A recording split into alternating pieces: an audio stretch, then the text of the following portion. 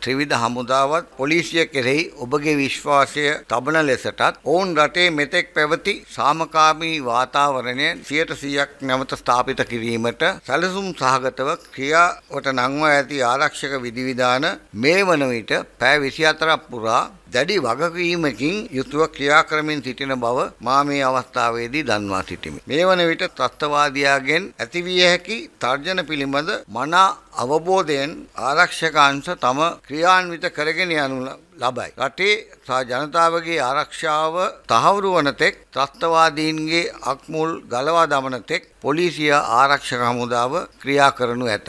මේ අනුව ඔබ සැම අප ආරක්ෂකන්ත කෙරෙහි පූර්ණ විශ්වාසය තබා තම එදිනදා ජීවන කටයුතු වල නියැලෙන ලෙස මා මහජනතාවගෙන් ඉතා ඕනෑ කමින් ඉල්ලා සිටිමි. සියලු පාසල්වල සහ ආගමික ස්ථානවල සංචාරක ස්ථානවල අවශ්‍ය පරිදි ආරක්ෂාව යොදා ඇති බව තහවුරු කරමි. වගකිය යුතු රජයක් ලෙස ආරක්ෂක අමාත්‍යාංශ මාධ්‍ය ඒකකය හරහා ජනතාව වෙත ලබා දෙන තොරතුරු කෙරෙහි පමණක් විශ්වාසය තබන ලෙසටත් ඉල්ලා සිටිමි. මේ වන විට කරගෙන යන ලද ක්‍රියාන්විතවල ඉතාම හොඳ ප්‍රතිඵල තිබෙන බව ඔබ දැනටමත් දන්නවා. රට තුළ මේ ව්‍යසනය කළ ත්‍රස්තවාදීනුත් ඔවුන්ට අනුබල දුන්න වැඩි දෙනෙකුත් මේ වන විට මරණයට පත් වෙලා තිබෙනවා. එහෙම නැත්නම් පොලිසිය සහ ආරක්ෂක අංශවල අත්අඩංගුවට පත්වී තිබෙනවා. ඔබගෙන් ඉල්ලා සිටින්නේ විය නැතුව තමන්ගේ එදිනදා කටයුතුවල යෙදෙන ලෙස්ටයි. අපි ඉදිරියේදීත් මේ ලබා දෙන සියලුම ආරක්ෂක විධාන මේ ලෙසම